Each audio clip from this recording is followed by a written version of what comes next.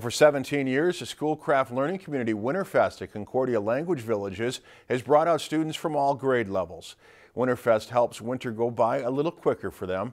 The different activities like dog sledding, ice fishing, and getting up close and personal with a fox named Ember keep the students busy. At the same time, students learn about their environment.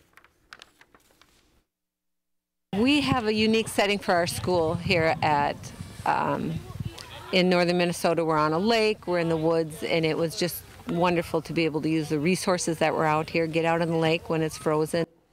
Alumni students also came back to enjoy Winterfest there as well. If you've enjoyed this segment of Lakeland News, please consider making a tax-deductible contribution to Lakeland Public Television.